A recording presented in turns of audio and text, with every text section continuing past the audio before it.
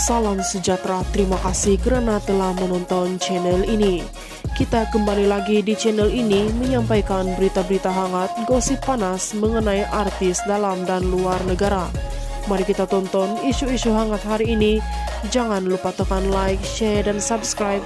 Dan jangan lupa juga tekan tombol lonceng agar anda tidak ketinggalan dengan berita-berita hangat yang selanjutnya dalam channel ini. Tanggal 17 November tahun ini genaplah usia yang ke-65 tahun bagi komposer dan pengarah muzik terkenal Datu Ramli MS. Di TikTok, isteri kepada Ramli yang juga merupakan penyanyi terkenal Datin Alia dilihat memuat naik video sempurna ulang tahun suami tercintanya itu. Menerusi video tersebut dapat dilihat Alia merakam dirinya sambil membawa sebiji kek berwarna putih secara senyap untuk diberikan kepada Ramli yang sedang duduk di ruang tamu.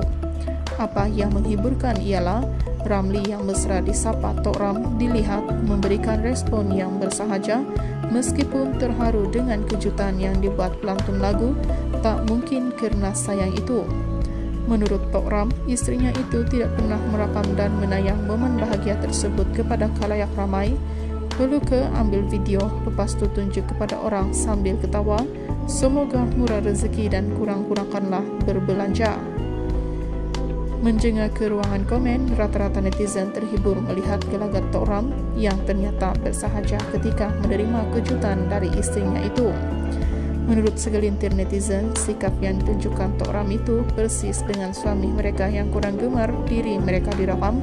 Mereka juga menitipkan doa agar panjang umur dan ucapan selamat hari jadi buat Tok Ram. Itu saja info hari ini. Sekian dan terima kasih.